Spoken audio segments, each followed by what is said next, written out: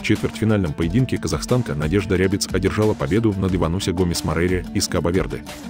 Чемпионат мира по боксу среди женщин проходит в Индии. В нем принимают участие 324 спортсменки из 65 стран, соревнующиеся в 12 весовых категориях. В весовой категории до 66 килограммов честь страны защищает воспитанница кастанайского бокса пятикратная чемпионка Казахстана, чемпионка мира среди юниоров, победительница молодежного чемпионата Азии, бронзовый призер юношеских Олимпийских игр 2018 года и участница Олимпиады 2020 года в Токио, мастер спорта Республики Казахстан Надежда Рябец.